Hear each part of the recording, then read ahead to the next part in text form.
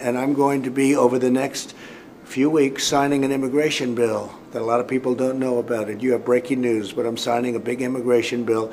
Is this I'm an executive order? I'm going to do a big executive order. I have the power to do it as president, and I'm going to make DACA a part of it. But we put it in, and we're probably going to then be taking it out. We're working out the legal complexities right now, but I'm going to be signing a very major immigration bill as an executive order, which Supreme Court now, because of the DACA decision, has given me the power to do that. It's going to be a very big bill, a very good bill, a merit-based bill, and uh, it will include DACA.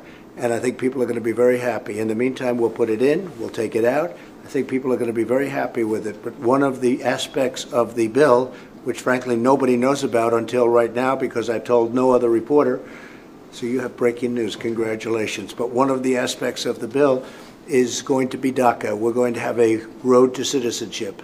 Okay, so that's as an executive order, not as a congressional If bill. you look at the Supreme Court ruling, they gave the president tremendous powers when they said that you could take in, in this case, 700,000 or so people. Right. So they gave powers. Based on the powers that they gave, I'm going to be doing an immigration bill, one of the aspects of the bill that you'll be very happy with and that a lot of people will be, including me, and a lot of Republicans, by the way, will be DACA. We'll give them a road to citizenship. when is this going to be? uh, I would done? say over the next four weeks.